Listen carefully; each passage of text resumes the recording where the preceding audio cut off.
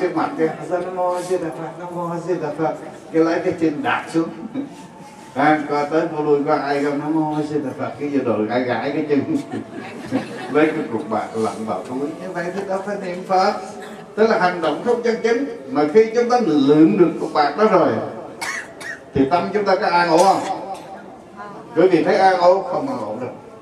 Chúng ta nói tới nó lui sợ ai nó, nó rớt rồi tới nó đi tìm mà lòng tham thì mình đâu có chỉ. Họ nó không biết nè. Tôi cũng mới thấy đi thật là cục bạc nó lặn ngồi lưng rồi. Như vậy đó ra, tức là chúng ta không chân chính không chân chính thì tâm chúng ta không ăn lạc. Mà nếu tiền đó đem về xài trong nhà thì hãy coi chừng, quả bao nó lên lớn lắm.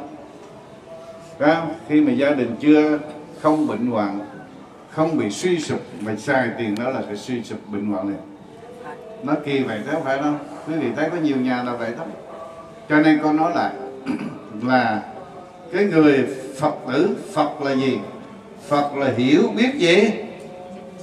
Hiểu biết chân chính. Quý vị nhớ nhá. À tức là khi chúng ta muốn nói nói ông chồng điều gì đó, giận dỗi điều gì đó thì chúng ta phải nói theo lời hiểu biết chân chân. Mình nói cái điều này, ông chồng mình ông có có buồn không ông có khổ. Không mình rồi học ông chồng cũng phải nghĩ như vậy. Mình nói cái điều đó có lợi cho vợ mình không? Vợ có buồn không? Thì thôi mình phải dùng ái ngữ. Ái ngữ là gì? Ái ngữ là gì? Mấy cha nội. À, ái là gì? Ái là thương. Thương yêu. Ngữ là gì? Ngữ là lời nói thương yêu. Nha. Nếu mà ông chồng ông có lỡ đi đánh bài về nhất là tết đây này cái đừng có vội vàng đóng cửa cái rầm Ôi giờ được quỷ sứ đi đâu đi mãi thế. Cái ông được thứ chấp tầm á. Thế là thế khuya rồi một hai giờ rồi. Thế này thế nọ. Cho vào, vào vừa cái càng rằng càng rằng đập cái ly bỏ cái tách. Nặng nề điều đó không phải là phật tử. Mà khi ông đó về là mình mở cửa vui vẻ. Thế là đi chơi mới về đấy à, à có thiếu tiền không? tí thì em em, em đưa ra đánh em cho vui mà. Có thật đấy chứ bởi vì tiền bạc đó có nghĩa gì đó có. Nhưng mà phải nói với ông rằng anh nhớ kỹ một điều nhá. Anh mấy bữa nay anh làm ông nội nhá làm cha. Anh không thấy sung sướng à? Bữa nay anh muốn làm cái gì nhỉ? Anh muốn làm bác đấy. Bởi vì cờ bạc là bác thành banh mà. Muốn làm bác có đi chơi đấy nha cửa nhà bác biết thế nào? Không? là suy sụp đó hơn nữa là mình để một cái dịp nào đó vui, yên lặng, rồi mình mới giải bày công việc đó. Chứ mình không thể vội vàng quý vị chứ người mình đã được dễ là cả vú lấp miệng em. Ha to tiếng. Cho nên ở cổ nhân nói là gì? To đầu thì gì? To đầu thì dài. Lớn gì là khôn cái bài dám nói vậy lắm to đầu thì dài lớn lớn cái đâu phải khôn lắm. Trời, lớn cái đó có chỉ là đi đi chẳng hạn cái sư đất gì là khôn. Mà chữ này là to đầu thì dài lắng lại thì khôn. Lắng lại nhá à, người nào mà giận ai? Buổi đầu to tiếng là người đã dạy thất bại liền. Dầu việc đó là việc phải đến nữa mình vẫn thất bại. Cho nên để người ta nói người ta nói hết ý rồi thì khi đó mình nhẹ nhàng nói là à, à mình nói là cái việc cô chị bác nói tôi như thế vâng điều đó đúng. Tôi xin sám hối việc đó là lỗi của tôi. Như hồi cô nói với quý vị bên kia đó và việc nào xảy ra làm khổ phiền ai làm phiền não khổ đau cho mình mình phải biết rằng người đó đương đem tặng cho mình những vật quý báu nhất trong đời này. Bởi vì họ chửi mình họ mắng mình họ giết mình họ nhục mình tức là làm cho nghiệp mình giảm đi. À, nó bớt đi. Và mình cảm thấy rằng người ấy đang thương mình. Vì họ thương mình họ chửi mình chứ phải không? À, họ quý mình mà họ chửi có mắng mình chứ. Chứ không phải là quý mình mà đem đồ tặng mình chưa phải quý đâu. À. một ngày nói mình xấu thì rồi chữ chết đấy. Cho nên nó là người nào cho nên vợ chồng cũng vậy đó. Quý vị thấy ngày mùng một tết đó cô hộ cô nói rồi nè. Quý vị ở đây là đi à, mong tới tết đó mà mà các cụ mong tới tết không? Chứ còn còn mong tới tết đó. Ngày nào cũng đến nữa vì tết phật tử tới nó lì xì với vui. Đó còn các phật tử ở nhà thì kiếm đồ mới bằng không phải đâu. Còn con đó tết là gì? Mỗi ngày á, mỗi cái tết như vậy là một nỗi buồn lớn cho chúng ta. Buồn nó vui? Nó buồn chứ, là mỗi tết đi qua tới là một năm đấy cái già nó thêm chứ, nó có bớt cho mà vui. Phải không? Cho nên nhưng mà cổ nhân á, lập ra cái ngày tết là để làm gì? Để cảnh tỉnh cho chúng ta. Để biết rằng trong một năm đó chúng ta sống bê bối. Chúng ta làm những việc bất thiện. Giờ chỉ có ngày đầu năm là ngày vui nhất. Chúng ta gặp nhau để là xóa bỏ hận thù cho nhau. Chúng ta có ghét bỏ người hàng xóm bao nhiêu đi nữa nhưng mà đến ngày mùng một tết, chúng ta gặp, chúng ta có chào không? Chào chứ hả ôi trời ơi. Cô khỏe nha cái nhổ nước miếng cái trà đó chào mà cần chén đã một người tới chào thôi. Chứ giận nó lắm á. Nhưng mà nếu trường hợp mà chúng ta gặp hoài như vậy, chúng ta sẽ quay mắt cũng như những người đi chùa nè. Gần nhau cũng cãi lẫy nhau nhiều lắm chứ. Giận hơn lắm chứ. Nhưng mà đến chùa rồi có cãi lẫy không? Đến chùa gặp mặt nhau bỗng nhiên nở nụ cười. Vui. Ít nhất là thấy. Cho nên cho nên ngày tết là ngày như vậy là ngày vui là vậy đó. Nha. Nhưng mà quý vị thấy trong ngày tết có ai quấn lộn không? Hả? Có nhà nào có quấn lộn không? Vợ chồng có đánh lộn không? Có không?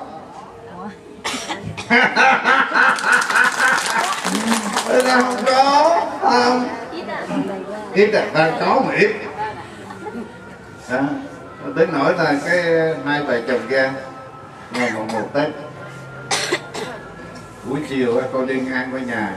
Hai vợ chồng này cũng là người phật tử quý vị. Đi chùa mà không học giáo lý không thực hiện giáo lý. Và cũng không làm theo lời Phật dạy. Chỉ đi chùa bằng cách là ờ, cúng ít đồng bạc rồi lại lại rồi xá xá về thôi. À, cho nên bữa chiều mùng một hai người đánh nhau thì có người hàng xóm nói giờ ơi bữa nay ngày mùng một tết thế là đánh loạn thế. Ôi giời mùng mười tết tao cũng quánh cái mùng một à, cái ông chồng á là chụp cái tóc bà vợ xoay. Bà vợ đau quá. Cái bà vợ lấy hai cái tay mình kéo rách nát cái quần của ông chồng loài của quý ra. Ông chồng dị quá mắc cỡ quá. À, càng mắc cỡ thằng quýt vợ thế. Nó khổ thế à, sợ cái này sắp thôi à, bữa hôm đó là con đi ngang qua con thấy giờ mình cũng mắc cỡ tôi đi luôn đi. Rồi bác tối tối về hỏi thăm thế tối về đi lễ bên chùa bên kia xong rồi trở về đi ngang nhà. Thì gõ cửa đi vào. Bà vợ gặp mừng lắm. Ôi giờ ôi thế thì sư phụ ơi. Ôi sư phụ ngày một một tết sư phụ đến con con mừng quá. Cái câu ngó đôi mắt của chị ấy là bị không bụp lên. À, bị bị khóc quá nó bụp mắt mà. Con ấy ủa chẳng phải ăn tết lớn nha. Ăn tết ờ, tức là nói bánh tét nhiều lắm mà. Bị canh bánh tét khói lên làm hai mắt xinh đấy nó không trời ơi sư phụ có biết cái thằng khốn nạn nó bánh con. Ngày nào nói với cười chồng nó anh yêu dấu ơi. Ha anh yêu phi ơi. Mà bữa nay kêu là thằng khốn nạn. Các bạn à, bà vợ ở trong ông chồng ở trong buồn ông ngay như vậy ông nhảy ra. Ôi giờ sư phụ sư phụ sư phụ đừng có nghe lời các con quỷ sứ đấy. Ôi giờ nó xé nát cả cùng con mà. Rằng tại sao lúc trước á, mới yêu nhau á, thì đâu có nói là con quỷ sứ ai nói không? Có bao giờ ai mà mới yêu mới gặp một người yêu mà nắm tay thầy có quỷ sứ thì đi chơi với tao. Không ai nói chuyện đó. À, à, rồi các ai cầm với người ta bàn tay người người đàn ông nói rằng à, thằng trai khốn nạn đi tao chơi. Đó. Mà người ta sẽ nói ngôn ngữ gì? Cầm bàn tay em nhẹ nhẹ vuốt tóc em. À, nhìn đôi mắt. À, đôi mắt ngơ ngác của em và nói với em rằng anh xin đưa em về chân trời tìm chân trời yêu đương chỉ có hai đứa mình thôi em nha thế mà bữa nay đừng quýnh nhau. À, quýnh nhau phò ngủ quýnh nhau phò ngủ quýnh nhau phù mỏ lắm. Rồi có yêu thương gì đâu có. Cuộc đời nó là vậy rồi à, cho nên người phật tử phải cẩn thận điều này. Phải trân trọng tình yêu phải trân trọng sự yêu thương lẫn nhau cuộc đời này quý vị biết rằng như hồ không có nói đời người có mấy mươi năm? À có cụ đó là 60 năm. Nhưng mà đời người chỉ qua một hơi gì hơi thở mà thổi thở ra mà không thở vào thế nào? Được bông à, thở ra không thở vào là chết rồi. Cho đâu có hẹn là tôi sống mấy bao nhiêu năm nữa cho nên các những ngày chúng ta còn sống với nhau, chúng ta phải nỗ lực yêu thương nhau hơn. Chúng ta phải luôn luôn trân trọng cuộc sống lẫn nhau và trân trọng cái cuộc sống của con người. Chứ không có thể là gì? Mà đi ngược lại. Mà sở dĩ vợ chồng người ta thường thường khi đám cưới người ta gọi là gọi là gì? Sắc cầm gì? Đi đám cưới người ta gọi là sắc cầm gì quý vị? Sắc cầm hảo gì? Hảo hiệp không? À trăm năm gì? Trăm năm hạnh gì? À, hạnh phúc nhưng mà ở sáu tháng nó quýnh nhau quá trời quá đất. Thì có hạnh phúc gì đâu. À, mà tại sao quýnh lộn? Hai vợ chồng quýnh nhau có lộn không? Lộn không? À, quýnh cái người ở bên, bên ngoài mà không biết mặt biết này không biết tên họ thì lộn. Nhưng thằng chồng mới biết con vợ là ngủ ngáy ra sao? À, bao nhiêu nút ruồi trong người? Biết họ cha nó thế nào? Tên cha mẹ ra sao? Hết là làm sao lộn được? Bây giờ tại sao lộn? Ai nói được? Lấy hai triệu tiêu chơi. Tại sao lộn? Bây giờ nó tại sao lộn? Vì mới cưới cho hẹn hò đủ thứ mà phải. Anh em sư nguyện mà theo anh chết theo anh nên nếu em, em, em phải đi qua đời thì anh phải ở thêm nuôi con. À, nói nhau thương yêu dữ dội vậy đó. Nhưng bên này nó quýnh nhau à. Để chọc đầu nó đánh nhau. Như vậy gọi là quýnh không lộn quýnh trúng hay lộn quýnh đúng hay quýnh lộn hả? Vợ chồng quýnh nhau đúng hay lộn bây giờ nói ngay coi đúng hay lộn cái đó gọi là gì? Tại sao cái lộn lộn là bởi vì. Cũng lộn hết trơn bởi vì người ta không nhớ cái thuở ban đầu lưu luyến ấy, ngàn nắm hồ dễ mấy ai quen. Cái thuở ban đầu mà gặp nhau e lệ. Em cắn môi, em chả xa ha? Người đàn ông tỏ ra mình là là gì? Là những đỉnh núi vĩ đại để che chở người phụ nữ cô đơn đó và luôn luôn săn sóc lẫn nhau. Nhưng ngày hôm nay đánh nhau là vì quên cái thuở ban đầu hẹn hò đó. Có phải không ạ? Chứ bây giờ cái ai ai chụp đâu quýnh hết. Ai có ai bây giờ mới cưới nhau quýnh đâu đó. À, nhưng mà nó quên nó quên cái thuở ban đầu. Cho nên quý vị nhớ ha. Cho nên con nói là mùa xuân hay là tết có hay không? Có không? Có mùa xuân không? Có lúc nào? À tức là có mùa xuân trong lúc nào? Trong lúc mà chúng ta không có sự đau gì? Đau buồn. Trong lúc chúng ta không phiền muộn là có mùa xuân nha. Ngày hôm nay với nguyện ngồi đấy có có mùa xuân không? Có mùa xuân thì không có phiền não. Phải không? Mọi việc cứ việc gác lại hết. Để vì chùa tâm thanh thản là mùa xuân chứ còn gì nữa à, nhưng mà lát nữa về nhà thì trở thành mùa gì mùa đông. Ôi giờ đủ thứ nó bày việc à. thế nên thế là cho nên quý vị biết rằng là muốn tìm được mùa xuân mùa xuân nó có trong chúng ta trong từng hơi thở. Khi chúng ta thở ra chúng ta thấy hạnh phúc và an lạc.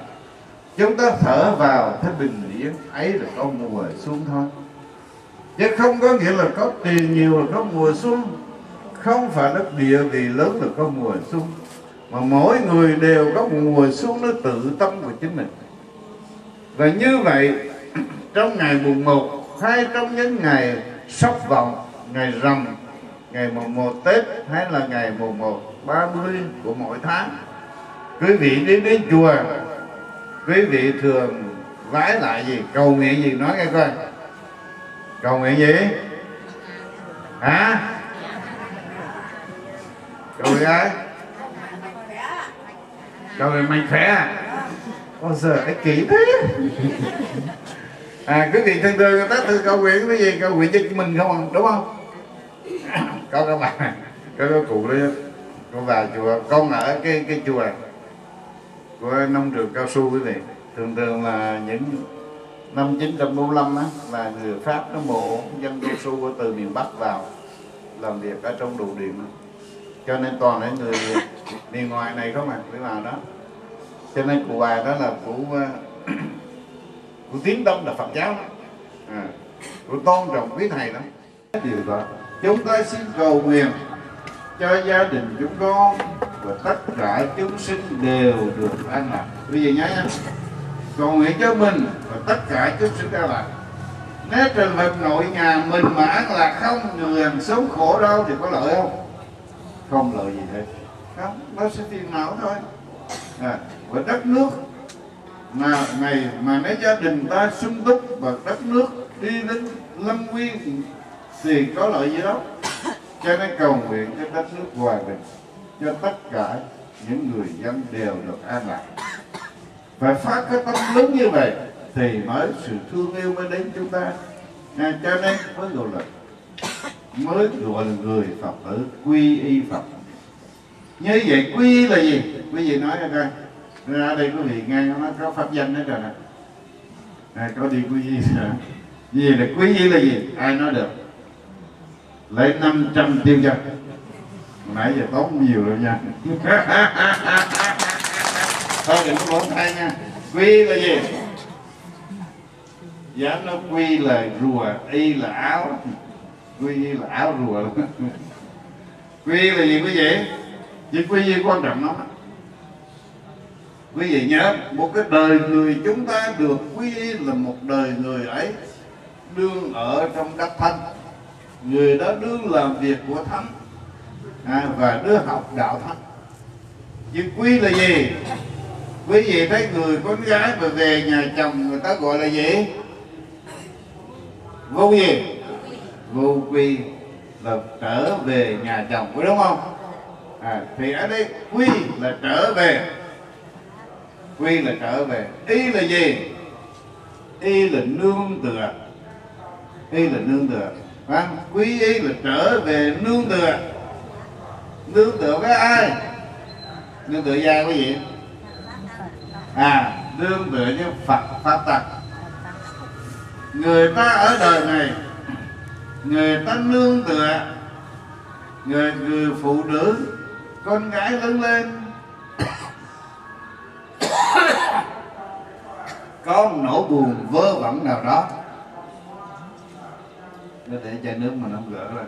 Nó gì uống ra. Tự chồng các bạn không ạ?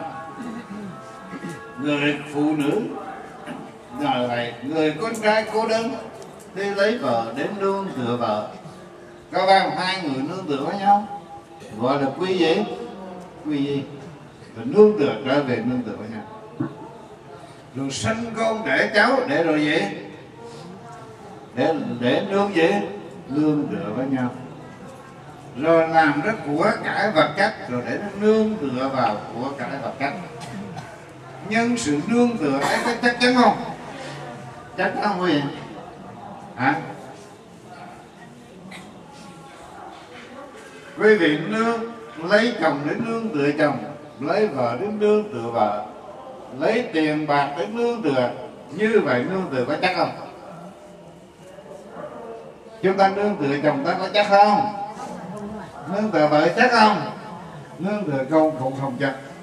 Vì ngày nào đó người vợ sẽ ra đi, người chồng sẽ ra đi, con cái thì có đứa có hiếu, có đứa bất hiếu mà đứa con trai lớn lên thì đi lấy gì lấy vợ. Đứa con gái lớn lên đi lấy chồng. Thì chúng ta có nương tựa ai được đâu cho nên chúng ta phải nương tựa tam gì nương tựa tam bảo. À, như vậy tam bảo là gì? Ai nói nãy đó? Phúc cái gì? Tam bảo tam bảo là ba sự quý gì quý bao ba cái cũng được đó là phật bảo. Hai là gì? Pháp bảo ba là gì? À như vậy phật bảo là gì? Ai nói được. Phật bảo ở đâu? Phật bảo là ở đâu? Hả? Rồi. Chết cả con được